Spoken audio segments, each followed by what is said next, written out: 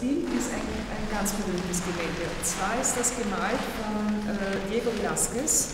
Das ist der große Maler des 17. Jahrhunderts. Äh, das war der Hofmaler vom spanischen König.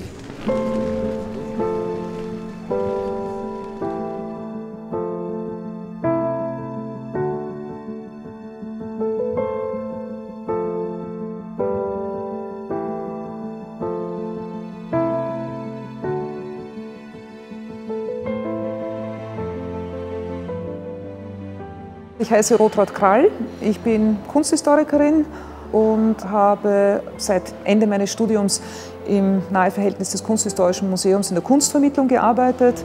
Und da bin ich heute auch tätig in der Abteilung Kunstvermittlung. Und ich habe eben die Aufgabe, Führungen und äh, Programme für Menschen mit Sehbeeinträchtigungen und anderen Beeinträchtigungen zu entwickeln.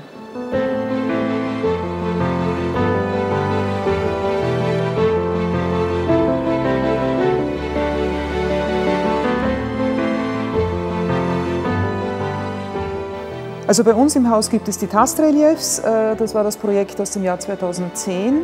Wir haben drei Gemälde äh, in Tastreliefs derzeit umgesetzt. Ein Gemälde von Albrecht Dürer, äh, Raphaels Madonna im Grünen und Jean Fouquet, der Hof Nagonella.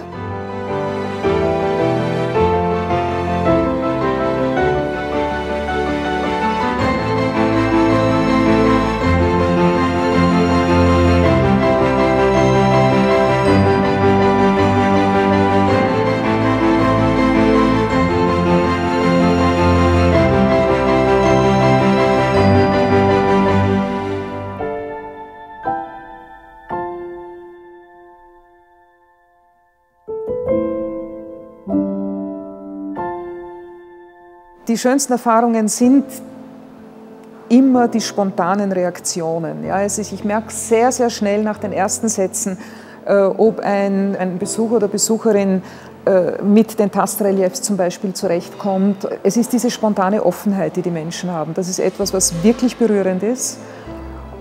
Ich kriege oft Mails dann, Dankesmails, äh, zum Beispiel eine Dame, die mir geschrieben hat, äh, sie war so oft im Museum und durch ihre fortschreitende Makuladegeneration ist sie praktisch zu 100 Prozent blind, kann allein nicht mehr ins Museum gehen und sie hat durch die Führungen äh, wieder die Möglichkeit, Gemälde zu erleben oder auch Kunstkammerobjekte zu erleben.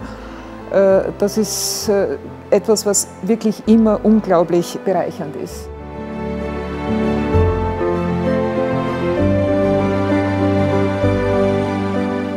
Kinder sind natürlich auch unglaublich dankbare Gäste. Hatte ich eine Gruppe vom Bundesblindenerziehungsinstitut, wo ja die Kinder geschult werden. Und da war ein persischstämmiges oder iranstämmiges Kind dabei, eigentlich kein Kind, das war ein Jugendlicher von 14 Jahren, geburtsblind. Und ich habe für die Kinder unglaublich viel Tastobjekte mit, von Kokosnuss, Bergkristall und was halt geht. Und unter anderem haben wir auch einen Teil eines echten Stoßzahnes von einem Elefanten, weil aus Elfenbein viel gemacht wird.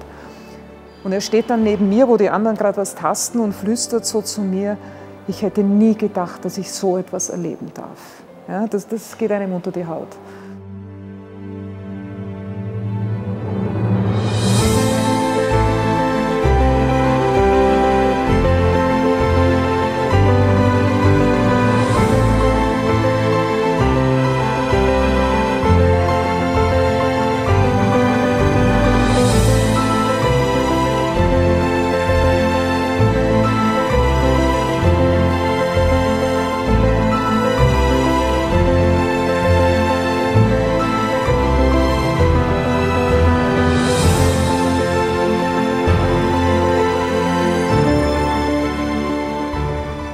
Heiße Rothard Karl, äh, ich bin Kunsthistorikerin äh, und möchte Menschen mit Sehbeeinträchtigung Kunst äh, erlebbar machen.